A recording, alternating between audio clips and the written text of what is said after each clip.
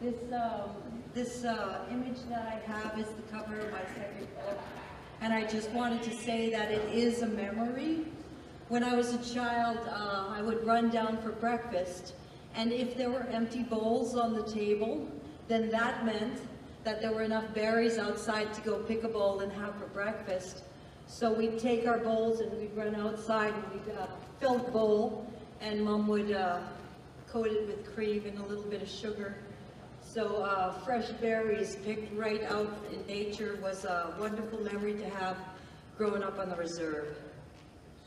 Okay, I'm going to talk about legends themselves.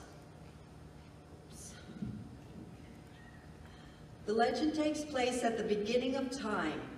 It takes mythic beings to transform our reality to what it is today, an entertaining explanation of how things have become the way they are. Legends can be classified into four groups. There's cosmic legends. They explain the beginning of time, astronomy, creation of the world, people, plants, and animals, mythical beings, basically all the beginnings. There are institutionalized legends. They teach cultural dogma, religious morals, laws, behavioral warnings, even things that are taboo. There are ritual legends resembling class. They teach the steps to something, the ways to do something, and the reasons why. And lastly, my favorite, entertainment legends. They're considered basically true, but have lost their sacredness over time. They usually have a culture hero, much like a bedtime story or television. Legends teach in an entertaining way. As you listen, you are learning. I find with legends, once they are heard and laughed about, they are remembered. It is an effective way to teach. The best way to appreciate legends is to regard them as an expression of the culture of the people who created them. Legends continue from one story to another. They link to each other from one ending to another beginning. A legend in reality is from the beginning of time throughout the history of culture to the modernization of the world. The legends I hear always underline the number four. If told properly, there are events that happen within the legend that are significant to the path of the story. These events should be repeated four times. Whatever is going to happen in the progression of the legend happens the fourth time. If someone knocks at a door, they will knock one, two, three times, but the door will be open on the fourth knock. Four is an important number in First Nation culture. Almost everything is divided into groups of four. Four colors, four stages of man, four times of day, four basic elements, four directions. Four is uh, taught on a continuous basis throughout uh, Indigenous life. There are three categories of Indigenous people in Canada. Um, indigenous means Inuit, Métis, and First Nation all together. So uh, it's just a common term, and uh, when you're meeting a person individually, you either call them Inuit, Métis, or First Nation. In North America, excluding Mexico, it is divided into 10 separate culture areas. Six are within the borders of Canada. There are many different types of legends depending on the area of origin. Different lifestyles need different teachings. So I'm going to go over the different areas that are in Canada as an example of their life, an example of what kind of legends that they have. And we're going to start with the Arctic. The most northern region on Earth, the land is sparse, covered almost entirely by water, and most of it is frozen. The sun rises in March and sets in December. Inuit were nomads, adapting incredibly to the environment. They travel by foot and dog sled in the winter and kayak in the summer. They hunted polar bears, caribous, whale, seals. Most of the meat was eaten raw. In summer, they joined together to form villages with tents. In winter, they broke into small family groups and lived in igloos. Life was very hard. You had to be tough, you had to be smart. The Inuit believed everything has a spirit. Legends were handed down to storytellers. Some legends are even based on history. Songs and dances enhance the telling. Sometimes small carvings were used as illustrations. Legends reinforced the close relationship with nature, taught customs, preserved ideas, and gave a sense of right and wrong. Inuit legends were entertaining, but very instructive. They are fairly intricate, with tons of behavioral codes, warnings that people in such a strong environment need to understand. So uh, Inuit, um, I find with their legends that they are very straightforward. It is a life and death environment that they're living in, and you cannot learn how to do something, you have to know how to do it. So the legends that they had were very straightforward. If you didn't do something, you would die. If you didn't follow a moral uh, respect for uh, a, a god or a being that was in charge of animals, uh, sea animals, birds, that kind of thing, if you disrespected anything, you would die. The whole village would die. There was a lot of death, and that was just very straight warnings, because if you think of living in the Arctic, uh, if you take off wandering around, you're going to die. I also like that in the uh, legends themselves, no children are harmed.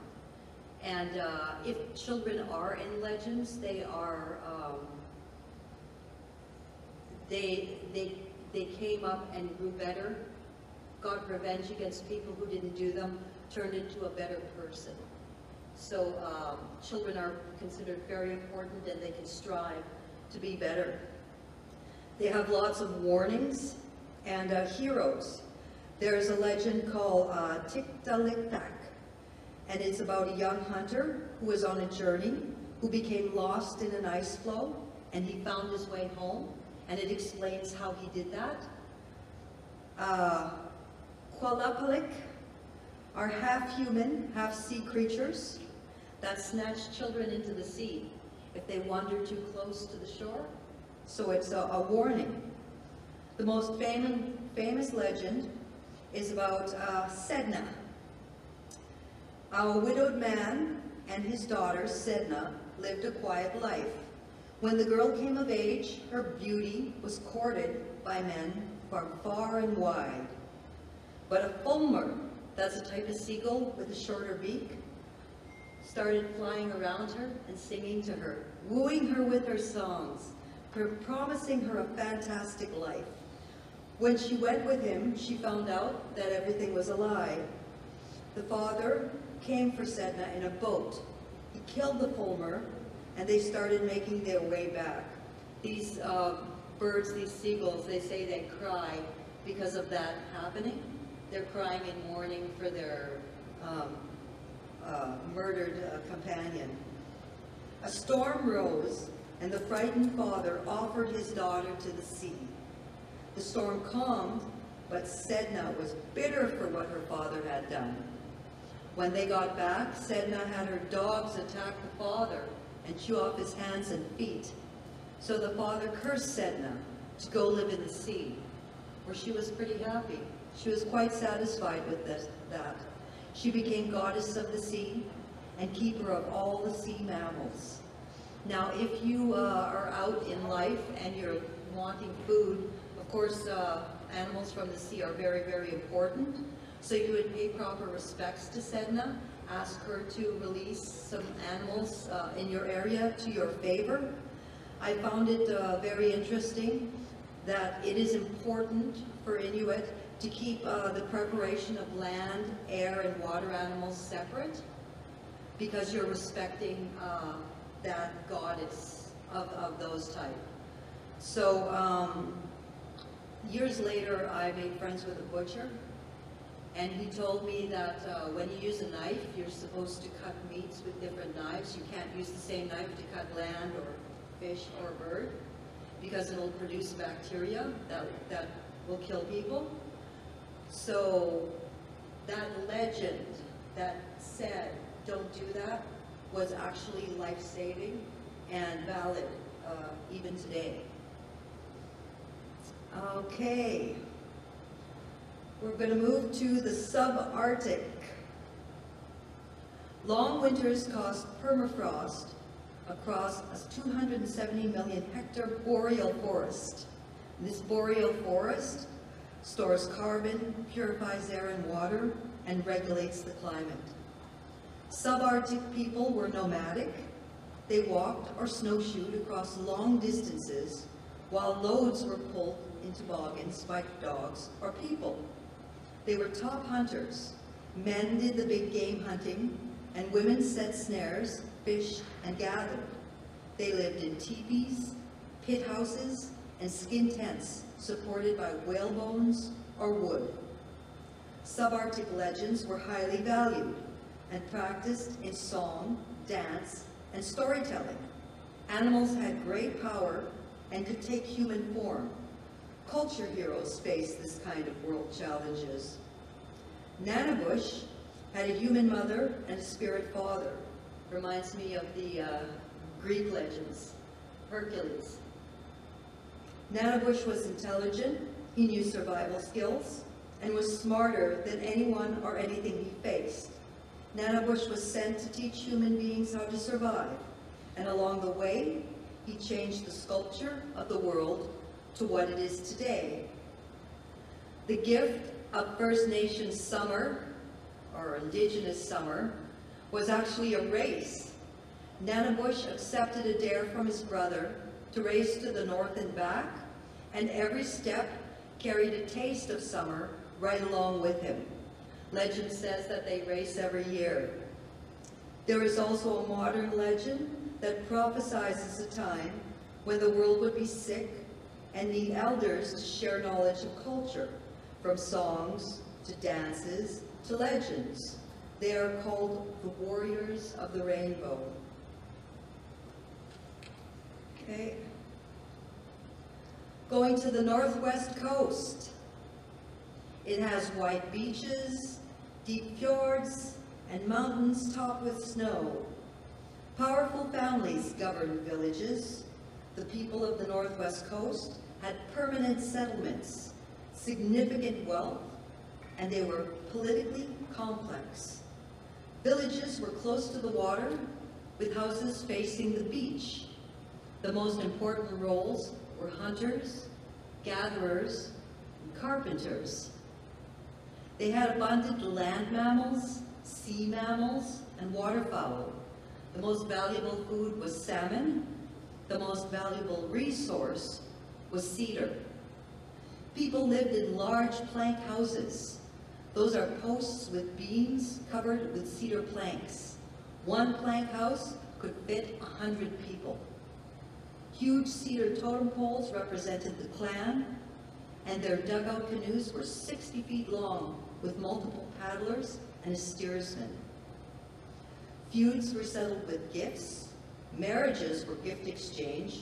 Gift giving and feasting was the main way that wealth was distributed. The potlatch was a lavish ceremony where possessions were given away to show wealth or enhance prestige. The mountains are considered sacred. They're the home of supernatural beings called thunderbirds, flashing eyes of lightning, the wings flapping thunder, one was never to climb higher than the snow line of the mountains. Crafty animals became inspirations.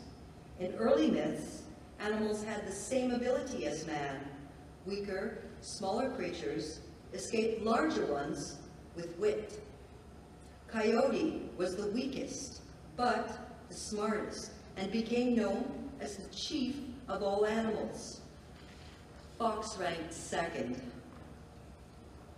Raven has many, has many, many legends in uh, BC culture. Um, what do they call it? Pacific culture. Northwest Coast culture. Raven had many legends. And here's one of them. There was a time when Gray Eagle took care of the earth. He didn't like human beings. Human beings lived in darkness without fire. Raven fell in love with Gray Eagle's daughter and changed himself into a white bird to court her. Raven was invited into Gray Eagle's lodge and said, and saw all the gifts of the world hanging on the walls. He knew what to do and waited for a chance when no one was looking. He snatched the sun, the moon, the stars, fresh water, and a coal of fire when no one was looking. He flew up through the smoke hole, and as soon as he was out, he released the sun so that he could see where he was flying to. He dropped the water, which formed lakes, rivers, and streams, and he kept flying. When the sun was setting, he released the moon and the stars. He continued flying with the coal fire in his beak, which blackened his beak, and the smoke blackened his feathers. He couldn't hold it any longer and dropped it to the earth, where it hit a rock, sending sparks, which is how fire is created. Raven is honored in many legends of Pacific Northwest tribes. Okay, the plateau. It's along the western edge of the Rocky Mountains. People traveled on foot, canoe, snowshoe, in family groups, with dogs for hunting. They lived in subterranean pit houses and in teepees. Spring, summer, and fall, they traveled, but they joined other groups in lodges for the winter in a permanent village. Each village had a number of chiefs or headmen.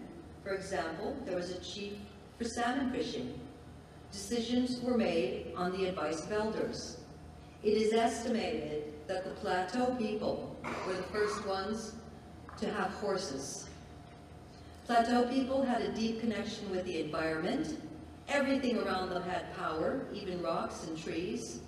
This relationship with nature filtered through every aspect of daily life. They loved games and stories. An elder in each village would recite legends and myths to the tribe. If the village had no storyteller, the shaman would tell the legends instead. And a teller would act out a story with his voice, his face, and his body. He might growl or roar or cry. Legends were told over and over again. When the stories were retold, the last sentence of the story is repeated so that everyone knows that they are listening. In legend, Coyote created human beings. A monster from the north was consuming all of life, so Coyote tied itself to a mountain, and when the monster arrived, it tried to suck up Coyote, but because he was tied to a mountain, he couldn't suck up the mountain with him. So he gave up and became friends with Coyote.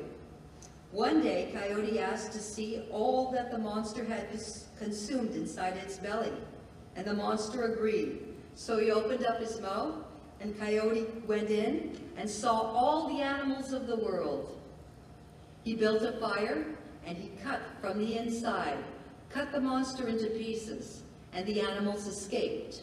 He said in honor of this event, he would create a new being. Drops of blood from his hands fell into clay, and he molded them into human beings. All right, then we go to the woodlands. Very intricate, very, very intricate uh, culture. The woodlands are a large region covered by thick forest, with lakes, rivers, including the Great Lake. There is an abundant food source. Most important thing, women planted and harvested, men were made to clear forests for farming.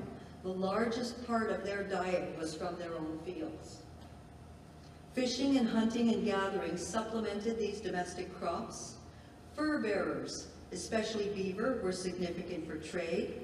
Some communities cultivated and harvested wild rice. Others also collected maple or birch sap. Crop storage was permanent in these settlements. A typical village had longhouses and it was protected by a huge wall. Anywhere from a few families to towns with as many as 2,000 people lived together. I mean, this place was uh, literally uh, a major city in itself. And people were uh, settling up as if nowadays, I mean, they were storing their own food. Um, they traveled in birch bark canoes in winter, and in winter used snowshoes, sleds and toboggans. Trade and visiting appear to be common activities. Some culture heroes are Nanabojo, or Glooskap. Heroines were Skywoman and Nokomis. The uh, culture heroes have a positive view of human beings and want to help them. They change the world in human beings' favor. They fight monsters and help teach culture. culture. They might be mischievous or silly, but they are not dangerous or malicious. Even if they are not taken seriously, they are respected. Animals play a huge role in legends, and this uh, is their legend of the game of lacrosse, how it was made. Long ago, there was a great ball game between four-legged animals and birds. The four-legged animals had the bear for power, the deer for speed, and the turtle who could not be moved. The birds had the owl for sight, hawk for speed, and the eagle for strength.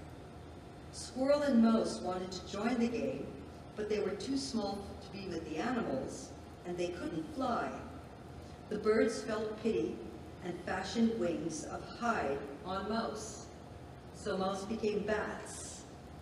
And they stretched out Squirrel's skin to use his wings. So they were both able to join the team. Although the animals were bigger, the birds were able to control the ball in the air. Eagle passed the ball to Squirrel, who passed the ball to Bat. Bat's motions of dodging and circling kept that ball in the air, and they scored the winning goals, a victory for the birds. So the uh, actual action of grabbing that uh, ball in the air and passing it back and forth, that's lacrosse. Okay, and finally, we get to my favorite area, the plains. We're a lot more laid back on the plains. Uh, grassland is stretched as far as the eye could see. Uh, there's a group of people traveling according to the seasons and availability of food. There are valleys, forests, along with lakes and rivers. They foraged, fished, and hunted. They were able to grow small gardens in certain areas, and the buffalo was a main supply of food. It is estimated that before contact, buffalo numbered 30 million. The entire buffalo was used, Pemmican was made of dried and pounded meat mixed with berries and fat. It could last for years, and it was introduced to voyagers to uh, help them survive Canada. People lived in villages all working together, each donating their service to the village. Teepees were the main dwelling, a tent with fire inside. A cone of poles was covered with bison skin that was sewn together. A vent at the top would cycle the fresh air through the tip and collect smoke to the open tops that had air flaps. An entire village could be broken down and ready for travel in a half hour. The teepee poles, poles were used as framework for the travois. Snowshoes were used during the winter. The Plains people are credited with the first powwows, an event featuring music and dancing they even invited other indigenous nations to join the celebrations. Drums represent the earth or the circle of life. The sound goes into the ground and lets the elders know that we remember them and we still practice our culture. With the Plains people, there is a creator or great spirit that had power over all things in nature, including people, animals, vegetation, climate, and land. The people offered thanks to the Creator. The earth is believed to be the mother of all spirits, much like Mother Earth is considered today. And most individuals carry their own medicine bags, which have personal items, dried herbs, a pipe, and tobacco. People ask for help from spirit guides an individual would find their representative guardian spirit in a fast. They go alone to an isolated spot where they fast and pray until a guardian spirit appeared in a dream or a vision. Like most indigenous people, the nation of the plains believed that spiritual powers were everywhere and in everything, in objects as well as in living things. And the main character is Wisagajak. He's not too bright, he has childlike impulses. He's given a lot of credit for the way things are. He was egotistical, but he had great power. An enjoyable mythical being featured in almost every legend that is told. I grew up listening to the legends of Wisagajak. As I became educated in schools, I confronted these theories with science and logic, but knowing that they reflected my culture gave them a permanent place in my life. And I'm going to tell you uh, a few legends about Wisagajak. So we will uh, find out uh, how birds got their colors. Oh, goodness. Okay. Wisagajak paints the birds. Uh, originally, birds were just plain, boring, there was nothing to them, flying around the world. Okay? The legend goes, Wisagajak was looking at the world and decided that it was boring. It needed color. He noticed the birds flew everywhere. The best way to color the world would be to color the birds. Wisagajak announced a powwow where he would paint the birds whatever they wanted to be. And on that day, paint pots were full. Birds were flying and singing and getting in line. One wanted a red, just like the morning sunrise, on its chest, and that is the robin. One wanted a deep berry red from head to tail, the cardinal. One wanted to be as blue as the sky, the blue jay, and one wanted to be all the colors, the hummingbird.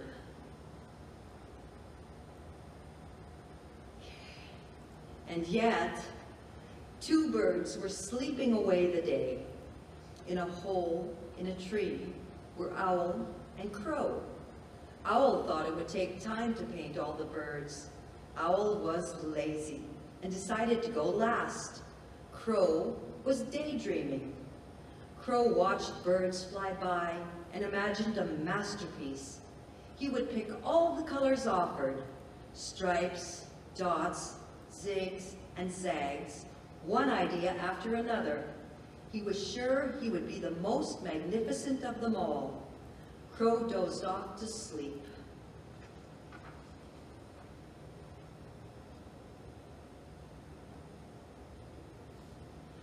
When they woke up, the sun was setting. The day is over. Crow could fly faster, so he rushed ahead for the both of them. When he arrived, Wisagajak was packing away supplies. Crow looked so sad, and Wisagajak pitied him. He gave Crow the only paint left, black as the night sky. Anything that Owl and Crow painted for themselves would stay forever. Crow was thrilled and took the paint back to his friend. Crow was impatient and wanted to paint first. Owl stood still as Crow dipped the brush and painted each feather, one at a time. It took a long time and was a beautiful job. Crows are very talented, and if you have ever seen a snowy owl, you would agree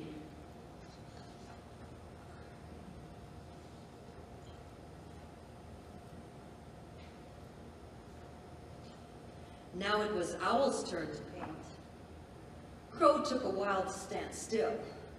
Owl tried to paint the back. Crow moved. Is it done? No, it's not done. Stay still. Owl tried to paint the tail. Crow moved. Is it done? No. Owl tried to paint the wings. Crow moved. Is it done? Is it done? No! Owl tried to paint the front breast. Crow moved. Is it done? Yes, said Owl. It's done. He picked up that paint pot and dumped it over Crow. Owl flew away, and to this day has nothing to do with crows. Crow flew into the deepest parts of the forest, angry and bitter, jealous, and cawing out to the world. To this day, crows are loud and usually only friends with other crows. I'm going to move on to uh, another uh, legend. Uh, this legend is a classic boogeyman story to get kids to stay close to home and in before dark. Every culture has them. The legend of, of the Wendigo is respected for an additional reason. Um, in many legends, Weesigachak may come off as comical, but this is a reminder of how great Weesigachak was he has faced entities, monsters, and villains in great, uh, in great battles. His legend is still spoken about today. So uh, this is Weesigachak Battles of Wendigo.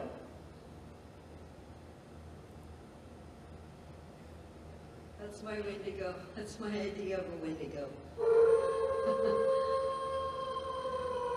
the legend goes, Wendigos are bitter, hollow, cold, and lonely. They look for the life and warmth of people. If you lock eyes with a Wendigo, you are frozen still, and that would be the end of you. But don't worry, they are easy to avoid. Don't wander far from home and be inside before it gets dark. A Wendigo wilts everything around it, so their camps look old. Scouts noticed a Wendigo camp close to their village. They called Weesigachak for help. He knew it would be dangerous, so he packed his knife for the trip.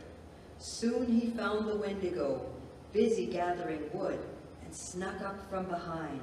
It turned and froze Weesigachak in the gaze of his eyes.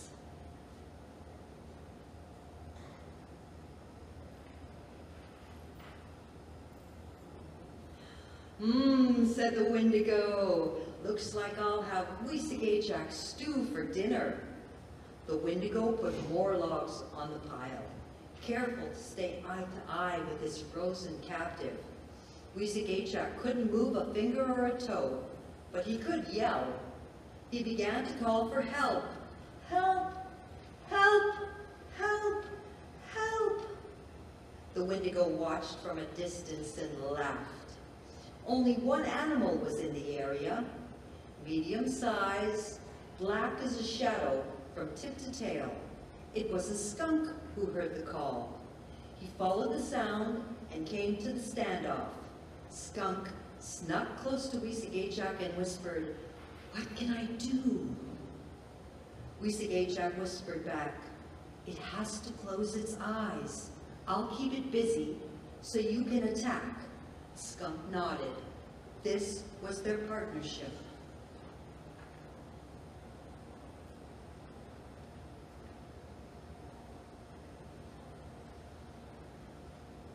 The Wendigo kept moving, so Weesigachak would have to get its attention.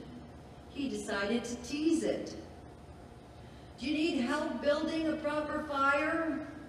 The Wendigo huffed. No. Hmm, you seem to be a small-sized Wendigo, it growled. I'm big enough. Am I supposed to be afraid of you? It shrieked. You're supposed to be quiet.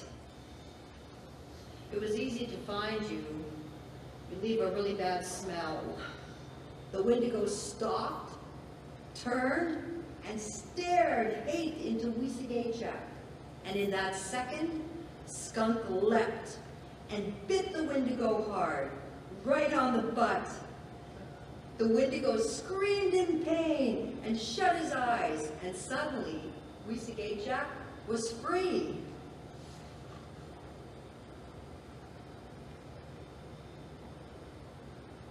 Skunk bit off a chunk of, a chunk of that butt. It grabbed Skunk and threw him into the bush. The Wendigo swiped, and Weesie Jack chopped off a finger. It turned into a tiny Wendigo with wings and started attacking. The Wendigo kicked. Weesie Jack chopped off a toe. It turned into a tiny Wendigo with wings and still attacked. The battle lasted all day. The Wendigos got smaller and smaller and smaller. Weesie Jack fought until there were millions of tiny Wendigos. They decided to escape and flew off into the woods. Today we call them mosquitoes. Poor skunk had a terrible smell. That chunk he swallowed made his farts stinky. Weesigachak was proud of Skunk and sorry he couldn't help. Wendigo is very strong. But he could protect, so he pet Skunk from head to tail. Good job. That touch left a mark for the whole world to see and respect. And if you don't, Skunk will teach you exactly what a Wendigo smells like by spraying on you. P.U. Mosquitoes are tiny pieces of Wendigo from that battle, still trying to escape, still fighting, still biting, and if you want to help Weesigachak battle a Wendigo, clap those mosquitoes.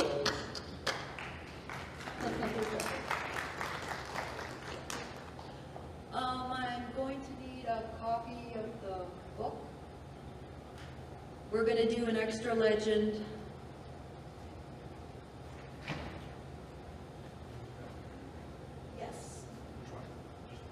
The red, no, no, the book, the actual book.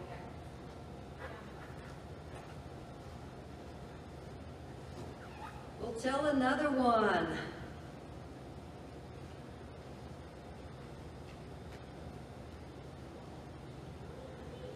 I've seen Wendigos in movies. Stephen King wrote a book about Wendigos and that, but to me, that, that's the story of Wendigos.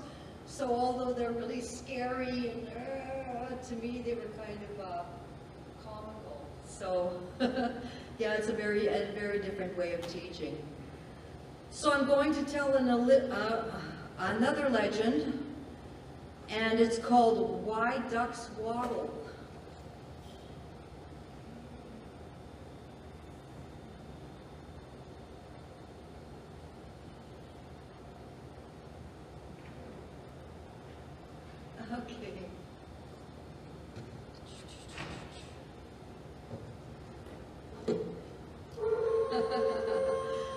legend goes, Weesigay was wandering around the world when his belly began to grumble. He realized he was hungry. At the edge of a lake, he saw a team of ducks. Weesigay called to them, Ducks, I know your family. Come and say hello. The ducks knew not to get close to anyone they didn't know. We don't talk to strangers. No. Weesigachak looked angry and demanded that they listen to him. The ducks said no. Weesigachak acted sad and hurt and asked them for help. A grown person doesn't need help from a little duck. No. What do you think this legend is teaching, eh? okay.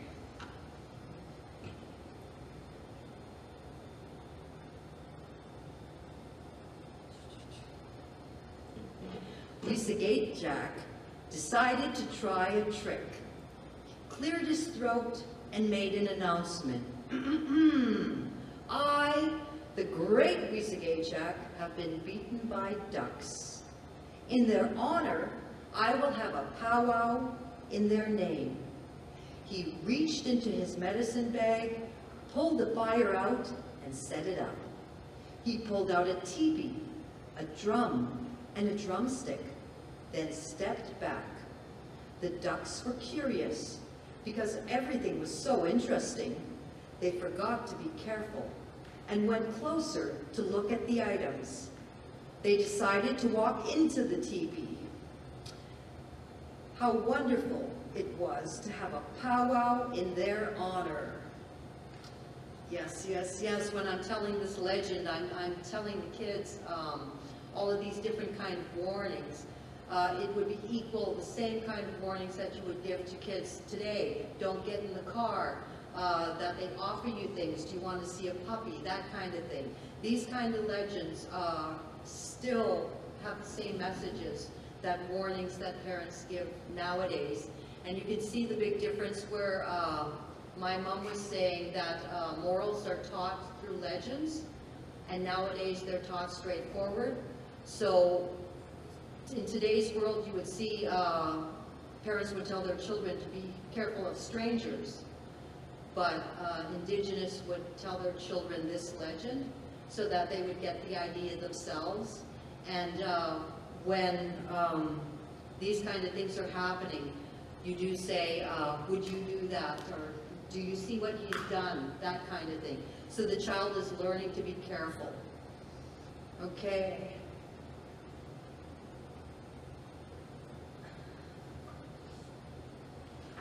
Weesigachak sang songs until every duck was dancing.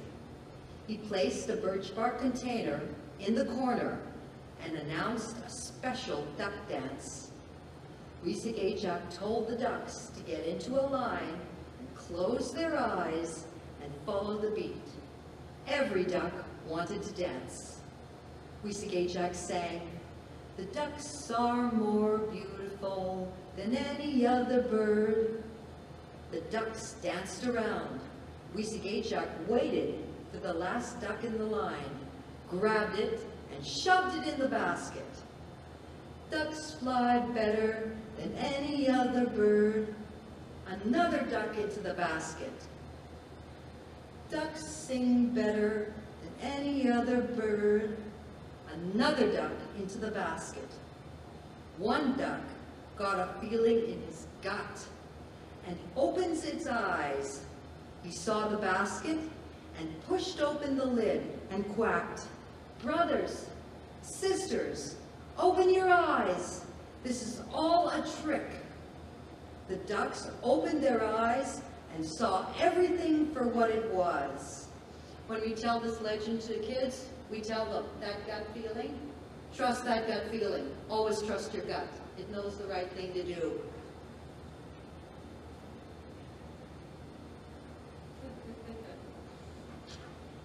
well, I guess I'll have to act this one out. it was a crazy teepee. Ducks were flying everywhere, and Weesigachak was running in circles. The ducks flew around and out the door. Nothing left but a mess of feathers and a humiliated Weesigachak. The duck that warned everyone was running for the exit. Weesigachak ran up and gave that duck a mighty kick out the teepee door.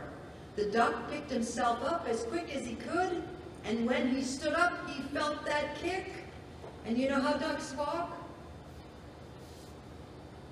All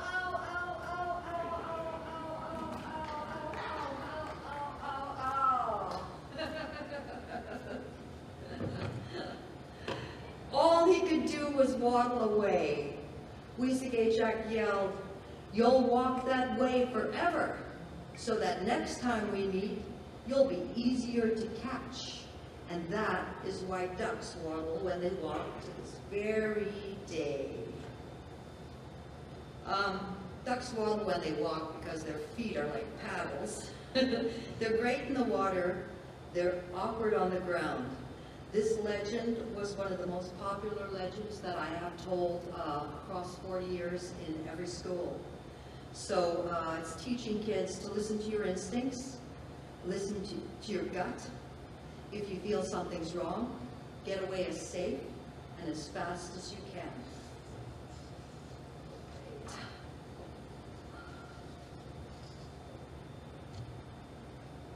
Okay. With the wisdom of elders passing on their teachings to future generations, we have persevered Languages are being relearned, and the powwows continue. The very essence of culture is being saved. And I was told the legend, that uh, I said would be happening today in this, in this world that I live in, that I would see it. I was told the legend of hope, uh, and the, the last legend and the legend of hope. So there came a time when Weesigachak climbed up to the highest mountain and looked in all directions. East, and saw all the different cultures of people coming across the sea to North America, all to start uh, new lives. And Weesigachak decided that it was time for legends, his legends to stop, and for uh, human beings to make legends of their own. And so he left, and he left us with one legend called the Legend of Hope. They say that in this generation, the child will stand up for the land, the woman will stand up for the child, the man will stand up for the woman. All the four brothers, four cultures will all come together and be as one. The entire world will change and it'll never be the same again. Now, I wasn't told if the future would be good or if the future would be bad. But I do really feel like I see a big change that's happening in this world. And uh, I'm, I'm thinking it's for the good. I'm hoping